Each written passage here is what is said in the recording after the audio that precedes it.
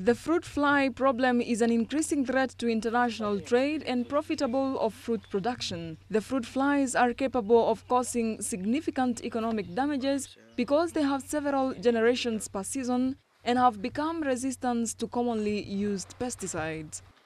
This has not only affected farmers economically, but has also enhanced excessive use of pesticides, which has adverse effects on the farmers and their consumers in the long run. Did a market survey in um, mango production in Kenya, among other crops, and we found that there was actually a need to control one of the major pests, in this case, it's fruit flies. So, due to over reliance of um, synthetic pesticides and synthetic chemicals, there has arisen an issue of residue in the produce that farmers produce.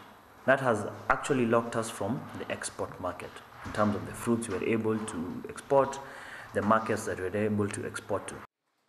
Real IPM development program for fruit flies joined forces with researchers from International Center of Insects, Physiology and Ecology to create an auto dissemination device. So we looked around in the market what is existing in the market and found that there was a gap existing.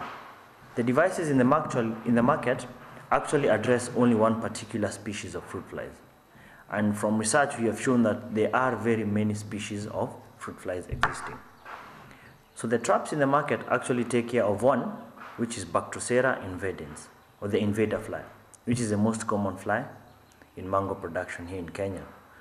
So we fabricated a device that is able to take care of all the fruit flies, both male and female.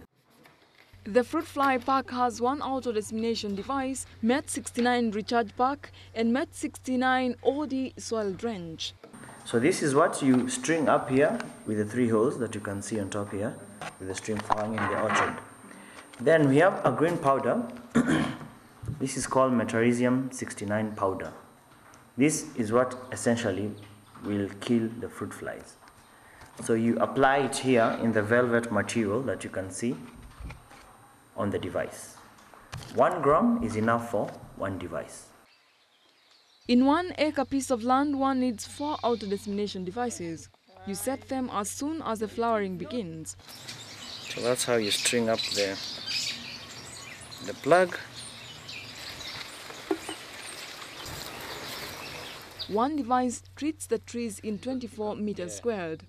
All the adult fruit flies of all species are attracted to the device by the molasses and because of the dividing plate, they don't fall. Instead, they enter the top section only to pick up MET69 spores. They leave the top section alive, but with the spores. It takes 3 to 5 days for the MET69 to kill the fruit fly. During this time, the fly will have spread the spores to both male and female adults. So once they get inside, they will be able to pick up the powder or the Metarhizium 69 spores, which essentially will kill them 3 or 5 days later. Once they've picked the spores, they fly out. And because the fruit flies are social beings, they go out to the interactions as they mate, they're able to transfer the powder from one fly to the next. So in that way, we have what is called horizontal transmission. And that can happen within three weeks. Use two soil drenches per season, six weeks apart. The MET69 soil drench will not only kill the fruit fly parasitoids in soil, but other flies as well, as all species of fruit flies must pupate in the soil. From the soil, the larvae is able to burrow into the soil, 5 centimeters on top.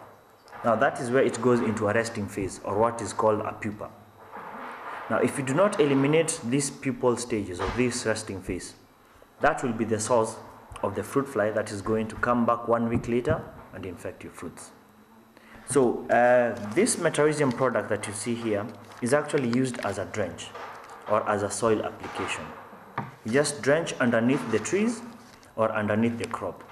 And in that way, the fruit fly or the pupa stages in the soil is able to be infected and hence the cycle is broken.